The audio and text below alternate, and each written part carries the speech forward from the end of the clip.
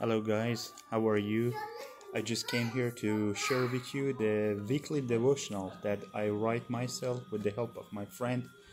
Um, and this week I would like to talk about the um, the healing power of Jesus Christ hidden in the Old Testament and revealed in the New Testament. So it's a new perspective of the power of Jesus Christ to heal the sick. So um, I just wrote it and I just make them like a paper. So and then later I will distribute to the community that I am living in. I'm evangelist and um, I would like to share the word of God with people to give them the perspective and revelation of the word of God and hopefully that this help you to store up uh, the faith to store up the gift of the God inside of you to give you encouragement the faith that you uh, carry on uh, the, the the life with faith the life with the gospel of Jesus Christ the life with the cho- torch and the light that uh, will be shining for the other people to find uh, the salvation in Jesus Christ so Jesus heals the sick with compassionate heart. That's the, the subject of the uh, this um, uh, devotional. We have all felt sick, down in our moods, and can appreciate a visit from a friend sometimes, uh, or a thoughtful message. Sometimes very much helpful for those people who are in sick or alone in home. Christ commanded us to love our neighbor, care for the sick, feed the hungry, and clothe the naked. This commandment help us to see the true nature of God because it's uh, full of love, full of compassion, and very much um, help for those people who are broken in their heart or in their spirit. That's the character of God, the God that we know in Jesus Christ. We will find uh, ourselves in a position um, um, you know the christ that we know that the christ has identified himself as a poor people the people that they are sinners the poor people the people that they are in the prison or lonely. And that's why in the bible says that um, uh, he commanded us in book, book of matthew if you read it that the, he says that um, we as a believer we need to take care of the poor people take care of the people who are sick praying for them um, anoint them with the anointing uh, oil and even it's so much important that we give the clothes to those people who are in need or naked. And we go and uh, visit the people that they are in the prison to be thoughtful about the people that they are in need. So it's a very important jesus christ um, um, emphasized in the bible that i have come to you in that form but you have not recognized me. You have not known me. So that's why he rejected us also reject us also if we do not care about the commandment that Jesus Christ has given to the church of Jesus Christ and to the believer to to be careful about the need of those people who are in need. And that's why in the book of Matthew 25 it says that I tell you whenever whenever you did this for one of the least important of these members of my family which is the poor people people who are in prison, people who are sick, people who are lonely and broken hearted. Um, you did it for me. So it's very important that when we come to the Christ, when we have a Christ in our heart, the compassionate heart of Jesus Christ also is in us. He has transformed this compassionate heart to our heart, to our heart, to our mind, to our spirit, to our soul, because we are no longer in people that in the darkness. We are no longer people who are in um, a past life uh, being um, in in in uh, old conversation that was uh, corrupted, being subjected to the things of this world, that they were careless. Um, but we are being renewed in Christ Jesus, and we have to transform and shine that light through us to other people. So, with hope, we we we we keep by faith this power in us that we carry on this is love also hope is assurance of the fulfillment of the god promise. We will not be able to see it right away but that is the point our heart moves with hope. Faith brings confidence in our heart. With faith and hope even the impossible can see possible. With God, all things is possible, because the when the Christ is live inside of us is it's it's it's a bigger than the things of this world. Christ says that be not afraid and um, and do not be dismayed because I have overcome them. So when Christ died on the cross for us, uh, for the, all the human race, for the forgiveness of the sins, he has died on the cross and he won the victory over the death, over the Satan's accusations, because he was the perfection of the law, perfection. He, he never sinned, and he has identified himself with us that we are a sinner, that with his grace, on behalf of he on behalf of us he has go- gone to the throne of god to to present us because he is a, a priest forever he's not the priest of, of, of the um, uh, temporary time or or with the limitation but he is a priest with the power of unlimited by the holy spirit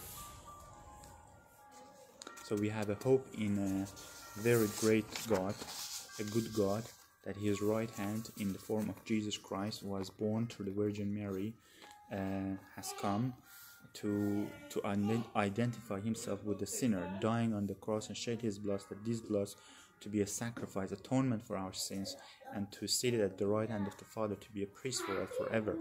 And we have salvation in Him, in His righteousness, not by our law or Sharia, but by His grace and His mercy. In His grace and mercy, we find our path to, to salvation. Sickness is an ob- obstacle or a position that often seems impossible, and that's what we feel sometimes in the sicknesses. But it's sweeping the globe. Sometimes it's a, it's we feel really uh, we cannot just overcome that. And now in the pandemic, which is a global, it's very very difficult to to to overcome this problem. Uh, and we cannot forget that the miracles and faith can faith that we have can sustain our path but the faith um, mm, bring us to the salvation. Faith in Jesus Christ bring the promise that He had, He He made for the believer to come true. Not only to, for for a believer, but non-believer. If they believe that Jesus can heal, they shall be healed. Jesus is a healer. He is a, he's a mighty God. He he he everything has been created through him the word of god has created everything we are the created being from god and he is our healer he knows how touch how he can heal um, and that's very good that we believe in him that his promises is yea and amen so um, uh, that's very important the bible says that the um, uh, Christ is the healer of a man. His mercy reached to all. His love extended past the border. He, he, there is no one that is watching this video that says that the healing of the power of the Christ is not for me. Yes, it is for you. God loves you and He wants to heal you and touch you in the area that you need it. And so His love extends uh, all the past all the borders, condition, any of the boundaries man has set up. His reach his reach is infinite. Healing the sick afflicted was one of the important parts of the Christ ministry on earth. So, you know, in the book of James it's written, Is any sick among you? Let him call for the elders of the church and let them pray over him, anointing him with the oil in the name of the Lord. So, when you go to the church, you ask for the priest or the pastors or the elders to, to anoint you with the, uh, with, with, with the cross uh, or or with the um, oil. And that's that's the um, the oil itself is not the holy spirit but the this is a contact point. It's a faith in that anointing because it was a tradition of the christianity that the this oil will transform the power of the holy spirit to uh, to you if you're feeling sick you know in the old testament it's written when the the leprosy was a sickness. It's a very difficult sickness and the people that they were leper they were being cast out of the city. They were completely isolated and completely lonely.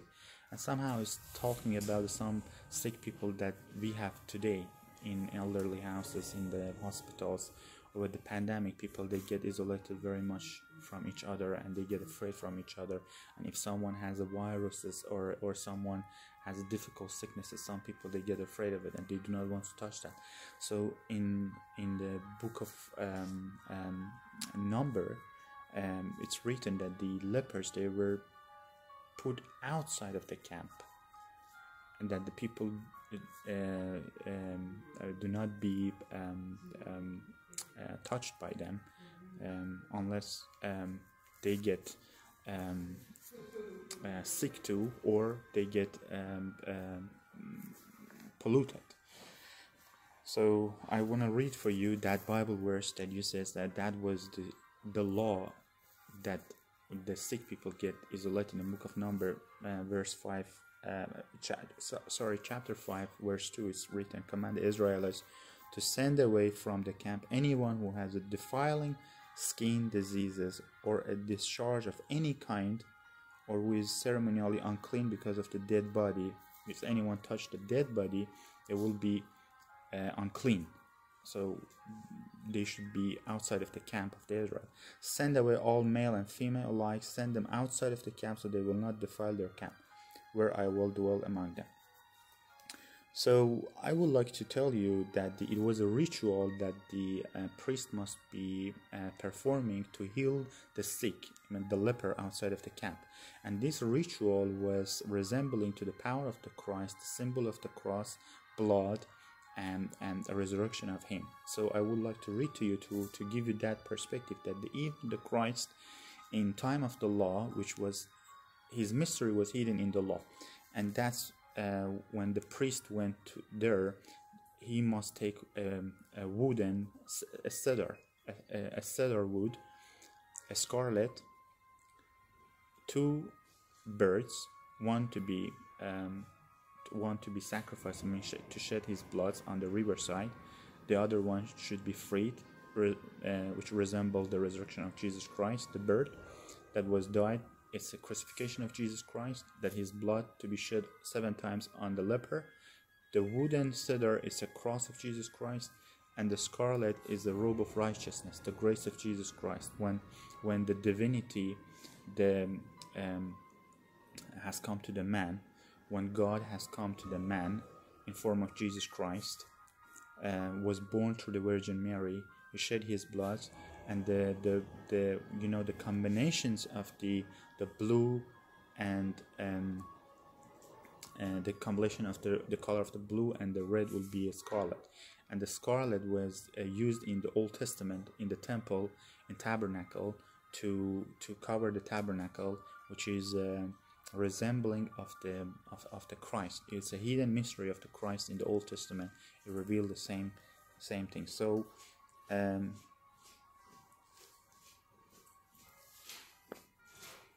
and the the priest indeed must go and to shed the blood of one of the birds and uh, combine or fasten the scarlet and the birds and the the cedars and seven times sprinkle it with the hyssop.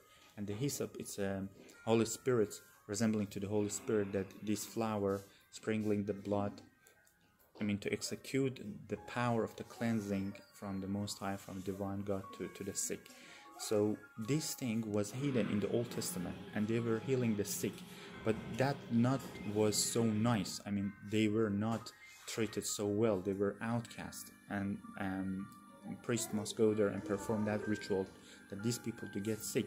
But when we come to the New Testament, if you see, um, uh, Jesus heals the sick or leper with compassionate heart. For example, um,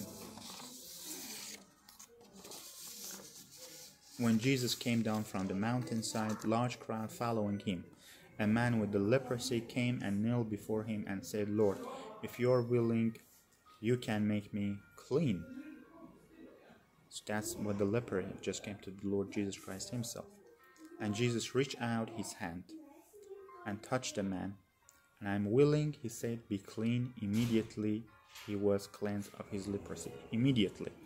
Mean, the touching hand of the Jesus Christ, the power of the Holy Spirit, which is the healing power, was transformed to that, and He healed that sick person. That's a great miracle because people put their faith on Jesus Christ when they saw the miracle was performed. That was Jesus Christ Himself was doing this ministry. This healing power was manifested because God showing His glory to His children in Israel, and and the church was about to be born through that faith, through that actions, through the ministry of the Holy Spirit. So, uh, our faith to Jesus Christ by healing power of Him can heal us, can connect us from this isolation to the um, the place of safety, can cover us um, uh, from the plague, from from pestilence. His blood and the Christ Jesus is compassionate, yet we do not see him by his by his Holy Spirit. He is able to cover, to touch, to to to, to heal. So I would like to come to conclusions with a prayer. And if you have not been given your life to Jesus Christ, I would like to give you this opportunity to repeat this prayer after me. And Jesus is a healer, and Jesus is your Savior. Our Father in heaven, I come before you. I'm a sinner. Please forgive me and come to my heart with your Holy Spirit. Wash me and cleanse me with your precious blood, so I believe that you are the Son of God, died on the cross for me, and raised from the dead, and seated at the right hand of the Father to be a priest and king forever. Make me whole, restore my life in righteous lives. So, in Jesus Christ's name, I um, come to end. I pray for you in the name of Jesus Christ that you be healed, that you be touched by the hands of the mighty God. God fill you with His with His uh, power, and, and and you come alive, being whole from whatever situation that you are riding. There is a time of difficulty. Sometimes we are all in it, and we knows that there is a positions, there is a darknesses, and Jesus Christ is our light, and that's very important that we stay cling into that uh, promise to this light, to the King of the Kings, to Jesus Christ. Amen. God bless you.